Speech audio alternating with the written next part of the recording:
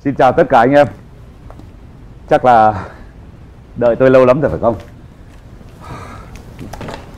Trước nhất là thay mặt tập đoàn An Linh Xin rất cảm ơn sự ờ, hợp tác lâu nay của tất cả anh chị em báo chí đối với tập đoàn An Linh chúng tôi.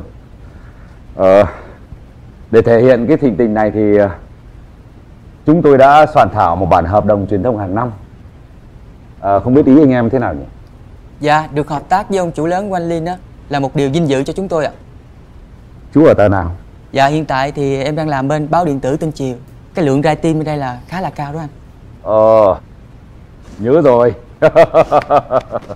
chú là người vừa đưa một loạt bài bất lợi cho các dự án của anh có đúng không? Dạ, thì ờ, bên em cũng có phản ánh về cái dự án mà xây dựng cái ờ, trung tâm của mình đó là xây cao hơn so với giấy phép. Nhưng mà anh yên tâm đi, em đã cho người gỡ bài xuống hết rồi. Đúng là chưa đánh nhau thì chưa thành anh em. Rất mong chú tiếp tục đồng hành và ủng hộ An Linh.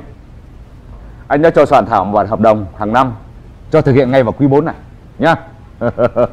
Ừ, thưa ông Đức, trong thời gian vừa qua thì chúng tôi đã nhận được rất là nhiều những cái tâm thư của người dân gửi về phản ánh toàn bộ những cái dự án của One Link trên địa bàn đã có dấu hiệu vi phạm pháp luật trong việc quản lý trật tự xây dựng. Một số dự án của tập đoàn đang bị dính vào nghi vấn tiêu cực trong vấn đề đấu thầu hoặc là sai lệch đấu thầu hoặc là sai lệch trong là tác động của môi trường. Vậy xin ông cho biết về quan điểm của tập đoàn đối với các vấn đề đang được dư luận quan tâm được không ạ? Xin hỏi chú là chú đến từ tờ nào và có phải là lãnh đạo không? Ừm, Chúng tôi đến từ báo tri thức phụ nữ. Ờ thế ta đến đây là muốn mang về một bản hợp đồng truyền thông hay là chỉ đi tác nghiệp đơn thuần? Ừm, Chúng tôi đã nhiều lần liên hệ gặp ông để xin thông tin về các vấn đề mà độc giả đang quan tâm. Ờ, xin lỗi. Nói thật là hôm nay ờ, tập đoàn chúng tôi gặp gỡ với anh em báo chí với một nội dung khác. Còn cái nội dung cậu vừa nêu ấy, tôi sẽ cho anh em soạn thảo văn bản và gặp gỡ trả lời cậu sau nhé. Còn bây giờ xin lỗi. Thưa ông, làng báo hiện nay đang rộ lên thông tin ông đã dùng hợp đồng truyền thông giống như một miếng băng để bịt mồm báo chí. Có đúng như vậy không? Chắc là cô cũng không đến đây vì sự hợp tác giữa hai cơ quan à? Chúng tôi đến đây vì sự thật. Cô muốn sự thật nào? Xin nói với cô là có rất nhiều kiểu sự thật mà tôi nhớ ra rồi.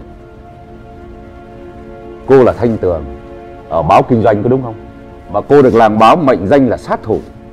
Chính cô là đưa ra một loạt bài bất lợi cho tập đoàn An Linh chúng tôi. Có đúng không? Vâng.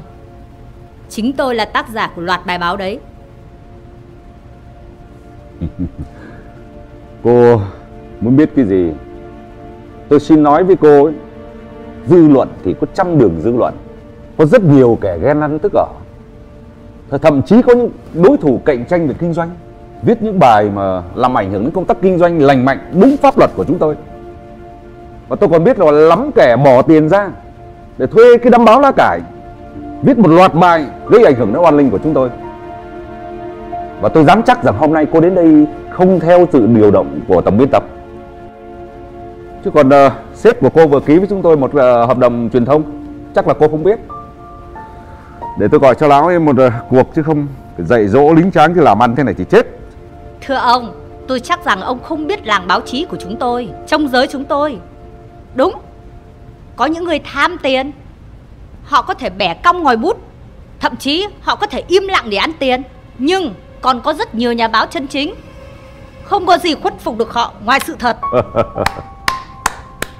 Bản lĩnh lắm, tôi cũng muốn ngồi đây để xem là cô cứng đầu được đến bao giờ. Kính thưa Chủ tịch, tôi xin trao đổi thế này. Thời gian qua, dư luận có những ý kiến khác nhau về việc một số dự án của công ty chúng tôi đã và đang triển khai. Những vấn đề mà các anh chị quan tâm, chúng tôi sẽ cho kiểm tra và thông báo chính xác tới báo giới. Còn trong buổi làm việc hôm nay, chúng ta chỉ làm việc trong khuôn khổ những gì đã thỏa thuận về hợp tác giữa các báo và An Linh. Còn những vấn đề không liên quan, xin hẹn buổi làm việc sau. Bây giờ chủ tịch của chúng tôi có việc bận rồi. Hẹn gặp lại mọi người.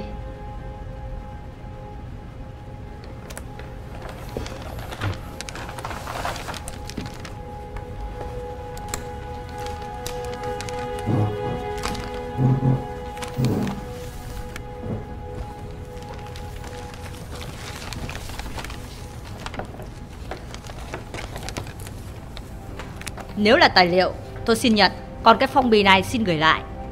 Tôi thật sự không hài lòng về buổi họp hôm nay. Và tôi sẽ chia sẻ cái thông tin này đến bạn đọc. Vâng, chị có quyền tác nghiệp theo luật báo chí. Chúng tôi luôn cầu thị, thiện chí và sẵn sàng đối thoại những gì mà báo giới và dư luận quan tâm. Hẹn gặp lại mọi người. Rất cảm ơn anh em. Xin phép nhé.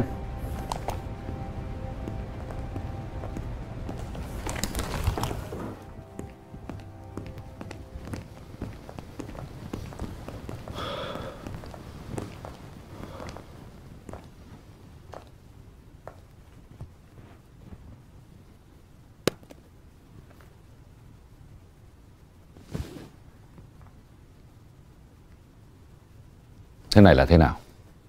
Tại sao cái đám đó lại có mặt ở đây? Dạ thưa anh, em cũng đã gửi đích danh các cái tổng biên tập mà mấy tờ báo anh yêu cầu. Em cũng đã gọi điện trước, nhưng không hiểu sao họ vẫn đưa cái lũ này tới ạ. Đúng là một lũ ăn hại.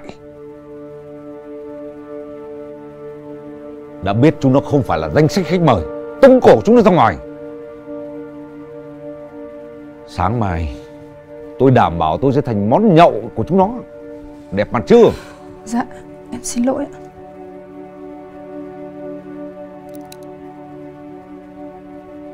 Bây giờ thế này Tôi cho từ giờ đến chiều Phải có được địa chỉ Đầy đủ thông tin của cái đám nhà báo Đến dự hôm nay Dạ, Nếu không làm được Đầu giờ sáng mai nghỉ việc Nghe rõ chưa